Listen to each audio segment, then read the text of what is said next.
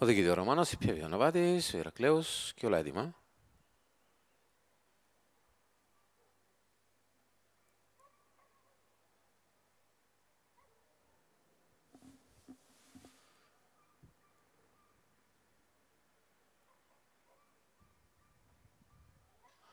Αυτή τη στιγμή έχει δοθεί εκκίνηση της τέταρτης υποδρομής και άριστη κίνηση ο Ρωμανός, ο οποίος θέλει να οδηγήσει αμέσως στον όμιλο.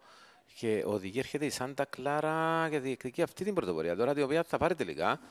Σάντα Κλάρα οδηγεί τον όμιλο, μάλιστα στα δύο μήκη από τον Ρωμανό που ακολουθεί δεύτερος. Στη συνέχεια ακολουθεί ο Μιλισσία στην εσωτερική. Άλεξ Δρέτα, Αχελός, βελτίνη θέση. Μισά Λανιάρα είναι στη συνέχεια.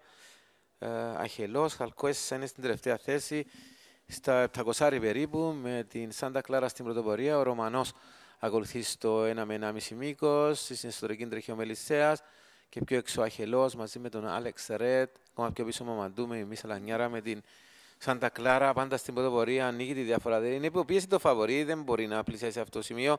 Σάντα Κλάρα 4-5 μήκη μπροστά από τον Ρωμανό και τον Μελισσέα που ακολουθούν στη δεύτερη και τρίτη θέση. Σάντα Κλάρα ελέγχει το ρυθμό στις αρχές της ευθεία. Είναι 5-6 μήκη μπροστά από τον Μελισσέα, ο οποίος τώρα περνά αυτό στη δεύτερη θέση. Μείνει το φαβορή στην τρίτη θέση και στην τέταρτη θέση τώρα η Αλανιάρα.